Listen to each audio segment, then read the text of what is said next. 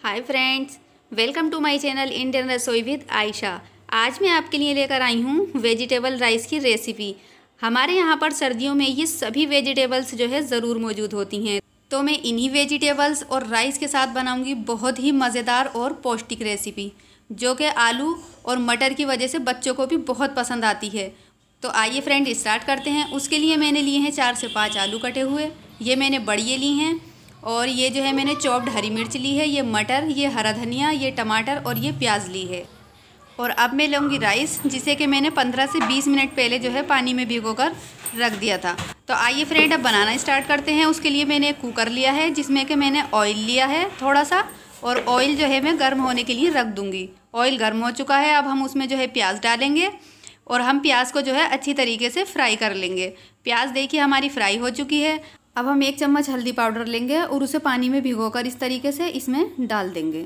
ये देखिए, अब हम हल्दी को जो है अच्छी तरीके से भून लेंगे ताकि इसमें जो है कच्चेपन की स्मेल ना रहे। ये देखिए, हल्दी हमारी भुन चुकी है। अब हम जो है इसमें हरी मिर्च डाल देंगे। ये देखिए, हरी मिर्च डालने के बाद अब हम इसमें जो है टमाटर डालेंगे। और इनको भी अच्छी तरीके से भून लेंगे। ये देखिए, हम अपनी सभी सब्जियों को एक एक करके इसमें डाल देते हैं। अब हम इसमें बड़ी डाल देंगे और फिर इसको भूनेंगे संभाल के। अब हम इसमें जो है मटर डालेंगे, जो कि हमने छील कर रख ली थी। और अब हम इसे भी इसमें फ्राई कर लेंगे ताकि जो है ये अच्छी तरीके से फ्राई हो जाए।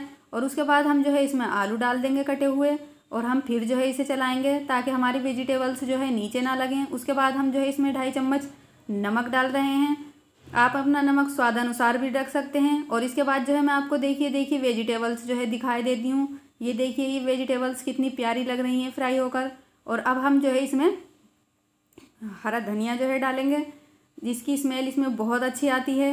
ये देखिए फ्रेंड्स और उसके बाद हम जो है इसमें लहसुन अदरक का पेस्ट डालते हैं। ये देखिए, अब हम इसे जो है अच्छी तरीके से फ्राई कर लेंगे ताकि इसके कच्चेपन की स्मेल ना आए। ये देखिए, अदरक लहसन की बहुत ही अच्छी स्मेल आ रही है, ये भुन चुका है। अब हम इसमें वाटर ऐड कर देंगे और इसे चला लेंगे। पानी में उबाल आने के बाद हम जो है इसमें जो राइस हमने भिगो कर रखे थे, वो डाल देंगे।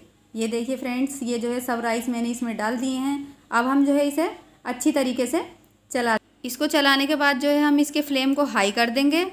और जो है, हम फिर दोबारा इसे अच्छी तरीके से चलाएँगे और उसके बाद जो है, हम इसका ढक्कन लगाकर जो है, इसे बंद कर देंगे।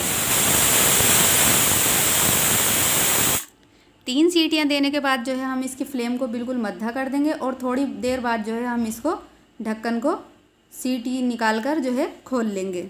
ये जो है, फ्रेंड्स, एकदम तैयार होने वाली रेसिपी है। तो आइए फ्रेंड्स देखते हैं। ये देखिए फ्रेंड्स सभी वेजिटेबल्स हमें इसमें दिखाई दे रही हैं और चावल भी हमारे हमें अलग अलग दिखाई दे रहे हैं और ये जो है कितनी स्वादिष्ट और पौष्टिक बनी है, ये आप देख सकते हैं फ्रेंड्स ये देखिए, ये कितना प्यारा जो है इसका टेक्सचर आया। अब हम एक सर्विंग प्लेट में जो है इसे निकाल लेंगे। ये देखिए फ्रेंड्स हमारे वेजिटेबल राइस जो है बनकर तैयार हैं। इसमें राइस आलू और सभी वेजिटेबल्स जो है दिखाई दे रही हैं।